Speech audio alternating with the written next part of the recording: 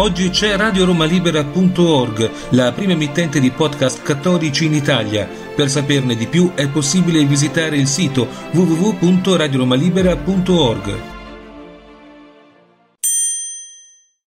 Cari amici, voglio iniziare citando una favola. È la famosissima La piccola fiammiferaia del danese Andersen. Fu scritta nel 1848. Questa brevemente è la trama. È la notte di Capodanno, la piccola fiammiferaia è in strada, al freddo, a tentare di vendere fiammiferi. Non ne ha venduto neppure uno e sta gelando, ma non osa tornare a casa perché teme la reazione che il patrigno avrebbe vedendola rientrare senza aver guadagnato nulla.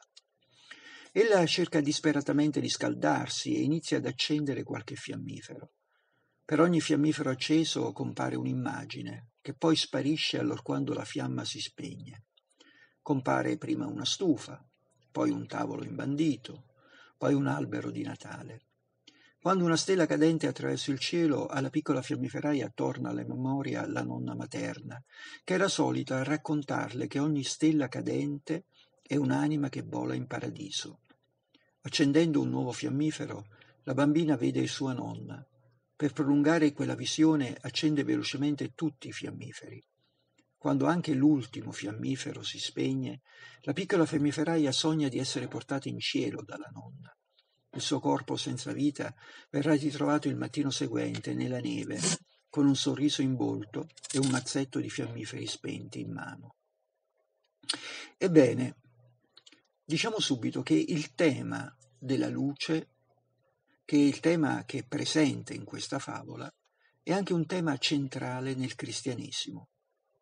Ora il Natale è la festa della luce, perché è la venuta del mondo di Dio, che è appunto la luce. Nell'Antico Testamento si racconta che Mosè, dopo aver pregato il Signore, acquisiva un volto talmente abbagliante che doveva coprirlo per non accecare chi lo guardasse.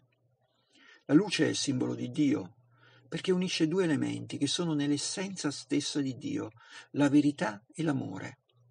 La luce fa conoscere, senza di essa non si può vedere, quindi non si può conoscere. Dunque la luce è verità.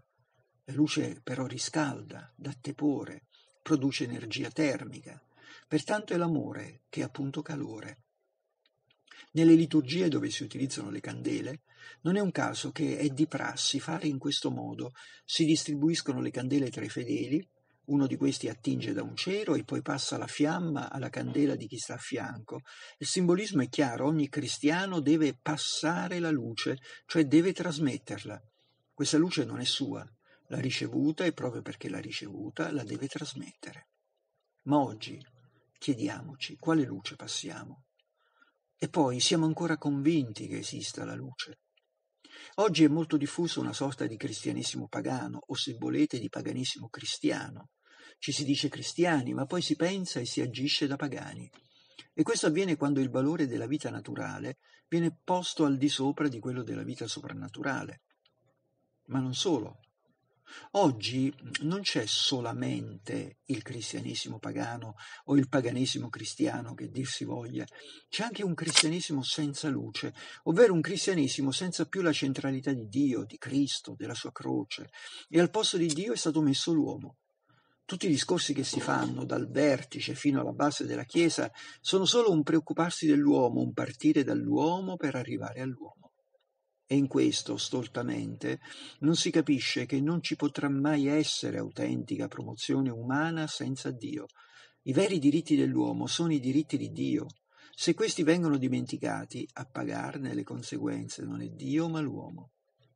E allora torniamo alla favola da cui siamo partiti. La sapienza di questo racconto, del, del, racconto appunto di Andersen, sta nel dirci che senza la luce la speranza è persa. La bambina, la, fem- la piccola fiammiferaia, non si preoccupa che i fiammiferi sarebbero finiti e non avrebbe potuto vendere più nulla. Capisce piuttosto che essi le danno la possibilità di vedere la nonna, l'unica persona che veramente l'aveva amata, e li accende tutti. E noi invece, che rifiutiamo la luce, pretendiamo di vivere soddisfatti delle nostre tenebre, conservandoci stupidamente i nostri fiammiferi. Bene, cari amici, terminiamo qui e ci diamo appuntamento alla prossima trasmissione.